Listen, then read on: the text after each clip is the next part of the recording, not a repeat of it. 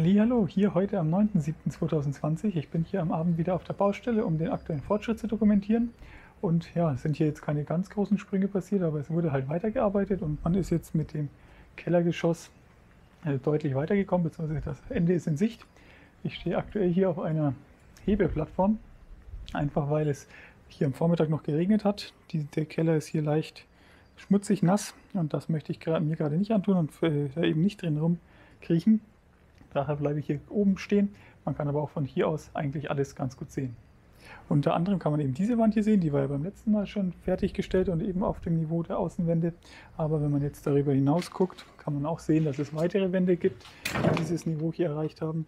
Zum einen eben diese Wand, die war beim letzten Mal noch nicht ganz fertig und auch die andere Wand, die eben das Treppenhaus hier umschließt. All das ist jetzt hier schon auf dem Endniveau und ist auch hier schon abgedeckt mit so einer Abdeckplane, beziehungsweise mit so einer Abdeckung hier eben, die durch Steine hier in, an Position gehalten wird, damit das eben jetzt vom Wind her nicht äh, weggeblasen wird. Und das sorgt einfach dafür, dass hier jetzt von oben kein Wasser eintreten kann. Man kann auch hier sehen, eine weitere Wand fehlt eben noch.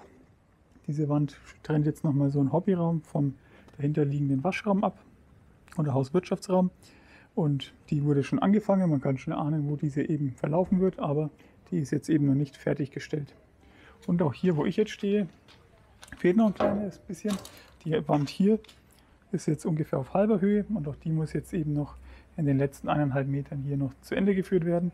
Das wäre dann aber tatsächlich auch schon die letzte Wand hier im Keller und dann wäre man soweit fertig.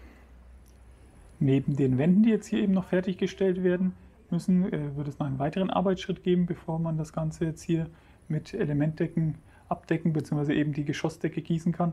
Und zwar ist es so, dass die Fenster zum Außenbereich hin, davon gibt es ja hier drei im Kellergeschoss, auch einen Rollokasten äh, bekommen sollen. Also das war von Anfang auch so geplant.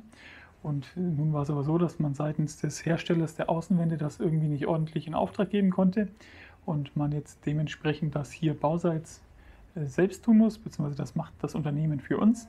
Aber dennoch ist hier eine Menge mechanische Arbeit notwendig, da man jetzt hier über dem Fenster nochmal mit, der, mit einem Winkelschleifer hier eben äh, entsprechende Aussparungen vorsehen muss, damit man diesen Rollokasten hier einsetzen kann. Der muss auch seitlich links und rechts vom Fenster immer jeweils aufliegen, um eben das Gewicht abzustützen.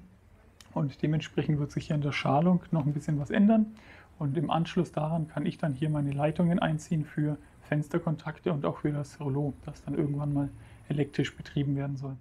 Ja, das soll es dann erstmal für heute und für jetzt gewesen sein. Diesmal ein relativ kurzer Beitrag. Hier haben sich einfach keine ganz großen wesentlichen Veränderungen ergeben. Das wurde, hier wurde im Detail weitergearbeitet, aber halt im selben Schema, wie ich es auch vorher schon aufgezeigt habe.